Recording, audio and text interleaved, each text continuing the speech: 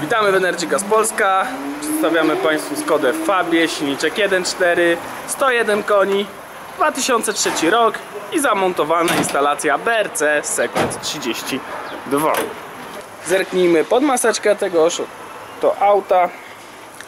I tak jak już wspomniałem, BRC Sequent 32 do aut czterocylindrowych. I tak. Filtr fazy ciekłej, filtr fazy lotnej, reduktor, centrala sterująca gazem i wtryskiwacze mamy tam schowane za silnikiem, proszę Państwa.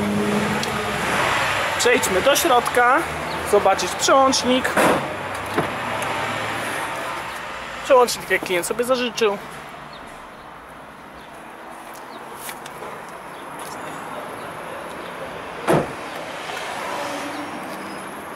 Wlew zderzaku.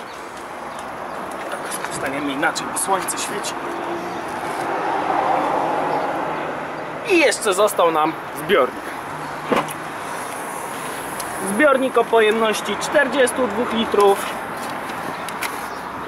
Ładnie nam tu wchodzi, nic nie odstaje, podłoga zamyka się na równo.